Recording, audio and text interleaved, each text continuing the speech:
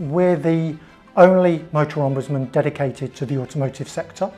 and we also govern the auto sector through our code of practice. And these really cover the whole ownership and purchase process, um, allowing consumers when they go in and buy a car or they have a car serviced or they have a car repaired, there's a code of practice that they can come to us as a dispute resolution body and we can help them resolve that.